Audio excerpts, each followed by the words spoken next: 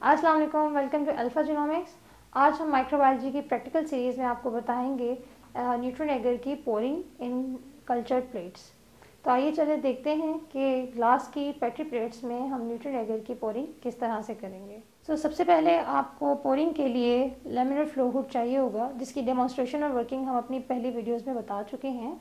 और उसमें काम करने से पहले यहाँ पे आप देखेंगे कि अपने आप को नेम की एंट्री करनी होगी। और डेट और टाइम और उसका स्टेटस इस पर काम करने से पहले एक लॉग बुक होगी, उसमें आपको अपना नाम लिखना होगा काम करने से पहले। तो ये रहा हमारा लेमिनर फ्लो हुड जिसमें हम पहले भी आपको बता चुके हैं फ्लोरेसन लाइट होगी और हीपा फिल्टर्स होंगे, जिसकी वजह से हम चाहेंगे कि हम अपनी बोरिंग इस laminar flow hood safety cabinet के अंदर करें, ताकि मैक्सिमम स्टेलाइजेशन रहे और प्लेट्स में कंटेमिनेशन ना आए।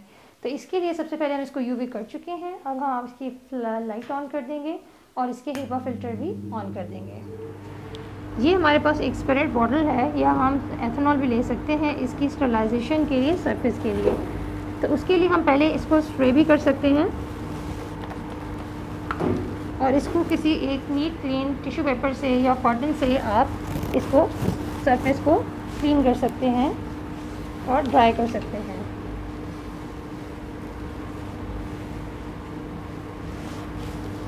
अब हम इसको दो मिनट वेट करेंगे ताकि ये अच्छी तरह से ड्राई हो जाए।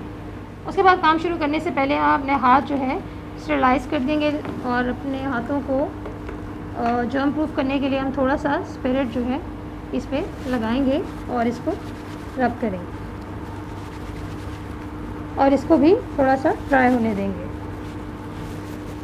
ये हमारा न्यूट्रन टाइगर का मीडिया है, जिसमें आप देख सकते हैं कि ऑटोक्लेव हो चुका है, क्योंकि इसमें ऑटोक्लेव टेप का वाइट लाइन से ब्लैक लाइन्स में कन्वर्ट हो चुकी हैं। इसी तरह ये हमारी पैटी प्लेट्स का स्टैक जो हमने बनाया था न्यूज़पेपर में रैपिंग की थी, ये जो है, इसमें भी हमने ऑटोक्लेव टेप लगाई थी इंडिकेशन के लिए, ये वाइट से ब्लैक में टर्न हो चुकी है। अब ये हमारा इसका ट्रैश का डिस्पोजल की जगह है, उसके लिए अब हम प्लेट्स खोलेंगे और इसके अंदर रखते जाएँगे। अपने स्टैक को ओपन करेंगे। अगर आपके पास डिस्पोजेबल बैटरी प्लेट्स हैं तो उसमें आपको इतनी मेहनत की ज़रूरत नहीं है। उसमें आप ऑलरेडी डिस्पोजेबल प्लेट्स का स्टैक खोलेंगे और उनको ओपन कर देंगे। अब हम प्लेट्स की अलाइनमेंट इस तरह से करेंगे कि इनको खोल के रख देंगे और स्ट्रेट स्ट्रेट रख देंगे।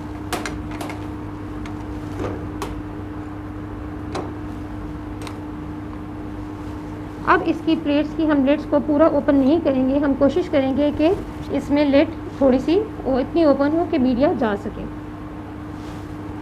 और उस लेट को एक दफ़ा खोलेंगे और उसको सारी प्लेट्स की लेट फ़ौरन नहीं खोलेंगे बारी बारी खोलेंगे। एक प्लेट में तकरीबन 20 मिलीलीटर के करीब वॉल्यूम आएगा और हमने ये 100 वॉल्यूम मीडिया प्रिपेयर किया था।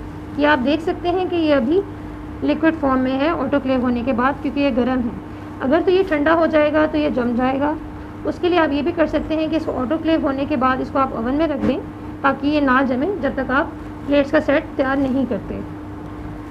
उसके बाद हम इसको जो है, इसके अंदर पोरिंग करेंगे। याद रहे कि एक पेट्री प्लेट के अंदर 20 एम से ज़्यादा मीडिया ना डाला जाए उसके ओवरफ्लो मत किया जाए। इसको हाफ़ फिल करते हैं, तकरीबन 20 एम के करीब।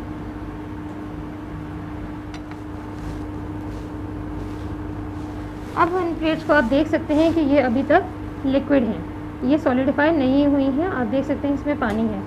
इसलिए इनको हम थोड़ी देर के लिए वेट करेंगे ताकि ये सॉलिडिफाई हो जाए। उसके बाद हम इनकी प्लेट्स को क्लोज़ करेंगे। अब इसमें आप देखेंगे कि आपकी प्लेट्स में अगर ये सॉलिडिफाई हो चुका होगा तो ये मूव नहीं करेगा।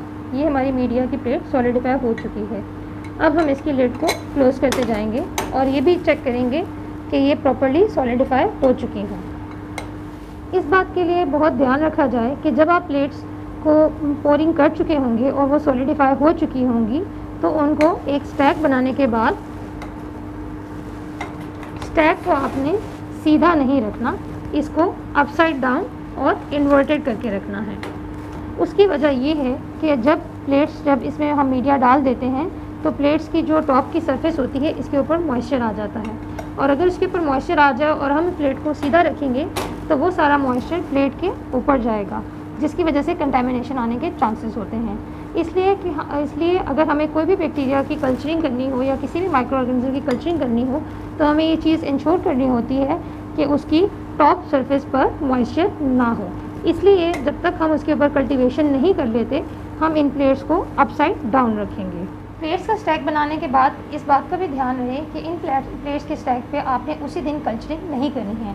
एटलीस्ट हमें इसके लिए 24 फोर आवर की इंक्यूबेशन देनी है इंक्यूबेटर पर, यानी कि 37 डिग्रीज़ पर या 30 डिग्रीज़ पर इंक्यूबेटर पर, ताकि जो है हम ये देख सकें कि इसके अंदर स्टरलाइजेशन मुकम्मल है या नहीं। क्योंकि अगर प्लेट स्टरलाइज पोरिंग कंडीशंस में पोरिंग हुई होगी प्लेट्स में तो उन पर कोई कॉलोनीज ग्रो नहीं करेंगी within twenty four hours और वो 24 फोर आवर्स के बाद भी आपको इतनी ही क्लीन नज़र आएँगी जैसे अभी नज़र आ रही हैं।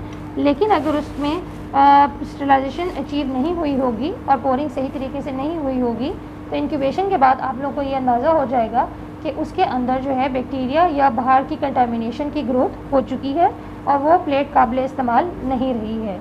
इसलिए इस चीज़ को इंश्योर करने के लिए कि हम वाकई हमारी स्टलाइजेशन अचीव हुई है, और पोरिंग सही तरीके से हुई है, और मीडिया सही तरीके से बना है या नहीं बना, उसके लिए हमें काम शुरू करने से पहले 24 घंटे के लिए इसको इंक्यूबेट करना होगा, और हमें वेट करना होगा, और इसको अपसाइड डाउन रखना होगा। ये थी हमारी वीडियो मीडिया की पोरिंग की इन ग्लास फैक्ट्री प्लेट्स अब नेक्स्ट वीडियोस में हम आपको दिखाएँगे कि किस तरह से कल्चर की स्ट्रिकिंग की जाती है, और कल्चर्स को ग्रो किया जाता है specially the bacterial cultures and the yeast cultures. So please stay tuned to our channel and subscribe to our channel. Thank you so much for watching.